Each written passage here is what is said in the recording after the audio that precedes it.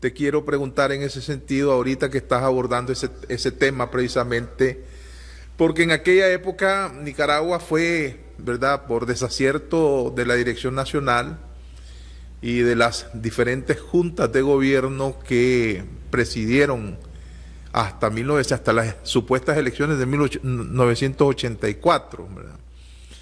Eh, bueno, nos inscribieron, pues nos metieron al, al contexto de la guerra este-oeste por razones filosóficas y políticas, no por razones económicas.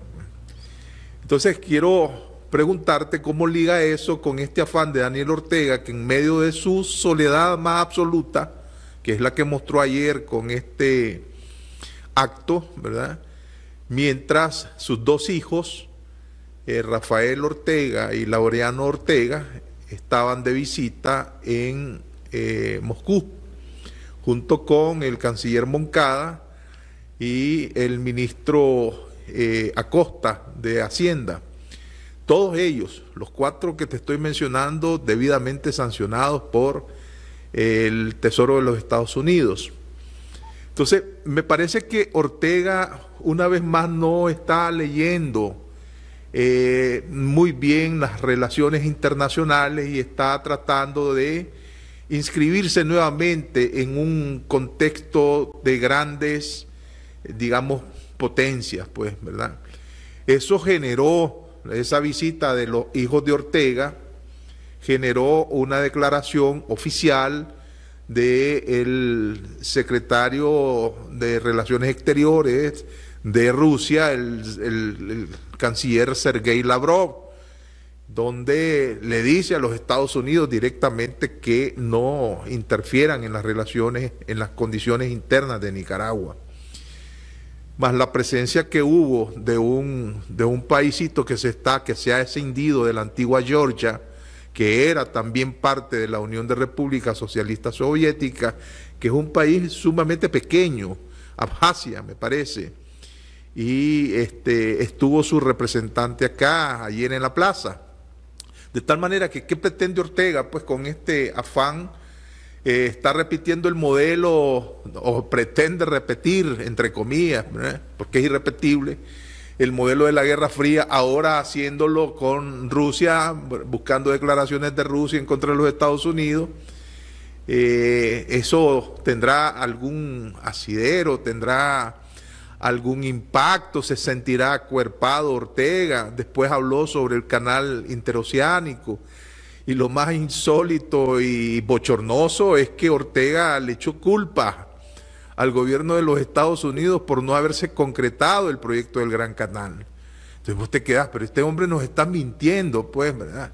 Sin, sin, sin, sin, sin ningún, sin ruborizarse siquiera. Eh, si, no hizo el canal es porque sencillamente es un proyecto fallido y porque hay, digamos, muchísimas cosas oscuras dentro de ese proyecto.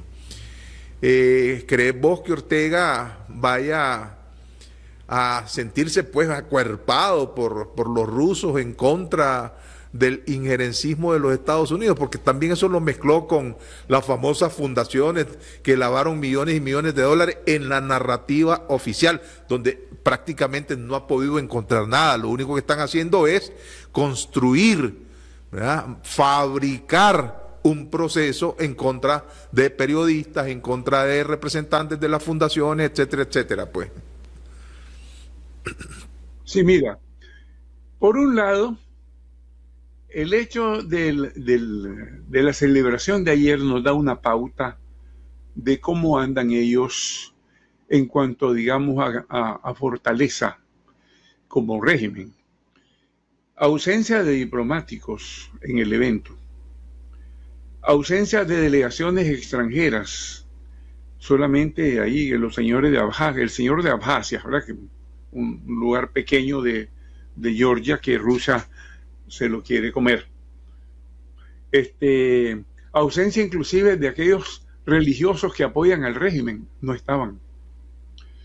Luego un evento celebrado no con las multitudes con que está acostumbrado hacerlo, sino con un reducido número de gente, mayoritariamente jovencitos. Inclusive me, vi ahí a un niño como de 10 años entre los que estaban cerca del estrado. Eso mismo te demuestra que, digamos, eh, su nivel, su capacidad de impacto en la celebración ha disminuido considerablemente y que ya, digamos, la comunidad eh, diplomática está cansada de estar siendo objeto también, digamos, de manipulación por parte del gobierno. Este, por otro lado, la visita a Rusia no tiene mayor significado. Este, en primer, bueno, las palabras del señor Lavrov, bueno, son dichas, como se dicen muchas cosas en la vida política, ¿verdad? Pero no van a tener necesariamente mayor impacto. Son palabras y frases, digamos, este, del diente al labio. Este, eso mismo demuestra que sean sus hijos los que anden haciendo gestiones que no tiene personal de calidad diplomática para hacer este tipo de labores, ¿ya? Este, sino que tiene que hacer, uso de, de, sus familiares más cercanos para que vayan a mediar. Lo del canal, sencillamente, como dijiste bien vos, digamos, un proyecto fallido. Fallido sin que haya intervenido en lo absoluto los Estados Unidos. Fallido por sí mismo. Fallido porque no tenía viabilidad. Fallido porque los mismos chinos que estaban detrás del chino que aparentemente iba a financiar, vieron que el asunto no convenía o no les convenía o no les importó. Porque después se ha descubierto que detrás del chino estaban también las Fuerzas Armadas chinas, detrás de ese proyecto. El estar siempre machaconamente contra el imperialismo norteamericano, fíjate que eso ya lo veo como una muletilla, como una muletilla de alguien que no tiene nada en la pelota, que no tiene argumentos, que no tiene temas que exponerle al pueblo. Porque si él tuviera temas como gobernante, como mandatario, de decirle al país acerca de los logros, acerca de los proyectos, acerca de los planes, tendría mucho que decir. Pero siempre está con una muletilla del imperialismo y de los norteamericanos.